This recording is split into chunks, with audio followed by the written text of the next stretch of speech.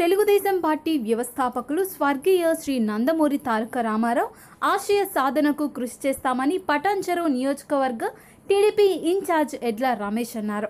సంగారెడ్డి జిల్లా పటాన్ చెరువు నియోజకవర్గంలోని అమీన్పూర్ మున్సిపాలిటీ పరిధిలో ఎన్టీఆర్ విగ్రహానికి ఎన్టీఆర్ తొంభై ఏడవ జయంతి సందర్భంగా టీడీపీ అభిమానులు కార్యకర్తలు నాయకులతో కలిసి నియోజకవర్గ ఇన్ఛార్జ్ ఎడ్ల రమేష్ ఎన్టీఆర్ విగ్రహానికి పూలమాలలు వేసి ఘనంగా నివాళులర్పించారు.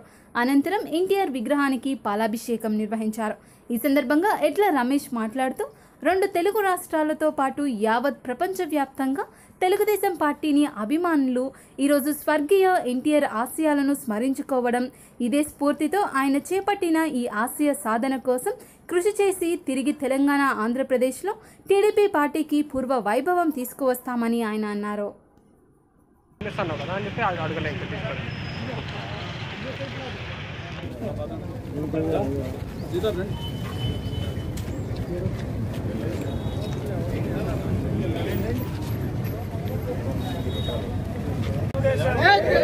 జోహార్ ఎన్టీఆర్ జోహార్ ఎన్టీఆర్. జోహార్ ఎన్టీఆర్. జై తెలుగుదేశం. తెలుగుదేశం పార్టీ వ్యవస్థాపకులు స్వర్గీయ శ్రీ అన్న నందమూరి తారక రామారావు గారి తొంభై ఏడవ జయంతి సందర్భంగా మరి రెండు తెలుగు రాష్ట్రాల్లోనే కాకుండా ఇతర దేశాల్లో కానీ ఇతర ప్రాంతాల్లో కానీ తెలుగువారు ఏ ప్రాంతంలో అయితే ఉన్నారో అక్కడ మరొక పండుగలాగా జరుపుకునే రోజు మరి ఈ రోజు అని చెప్పేసి తెలియజేసుకుంటూ ఏదైతే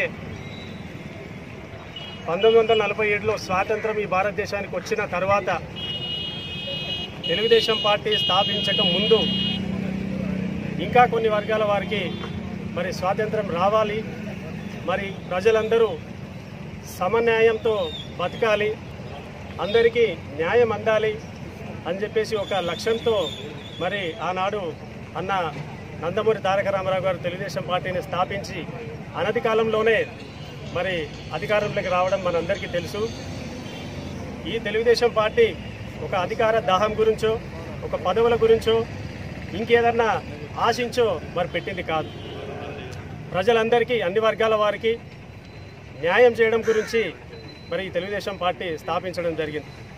మరి ఈరోజు తెలంగాణ రాష్ట్రంలో మరి కొన్ని ఒడిదుడుకులు ఎడు ఎదురవుతా ఉన్నా మరి ఇట్లాంటి పరిస్థితుల్లో ఇంకొక పార్టీ ఈ పరిస్థితిలో ఉంటే మరి ఈ పార్టీకి భూస్థాపితం అయిపోయేదని చెప్పి తెలియజేసుకుంటున్నాను అయినా కూడా నిలదొక్కుని మంచి రోజులు ఖచ్చితంగా తెలుగుదేశం పార్టీకి వస్తాయి. ఖచ్చితంగా ముందు ముందు బ్రహ్మాండమైనటువంటి భవిష్యత్తు తెలుగుదేశం పార్టీకి ఉంటుందని చెప్పేసి తెలియజేసుకుంటున్నాం.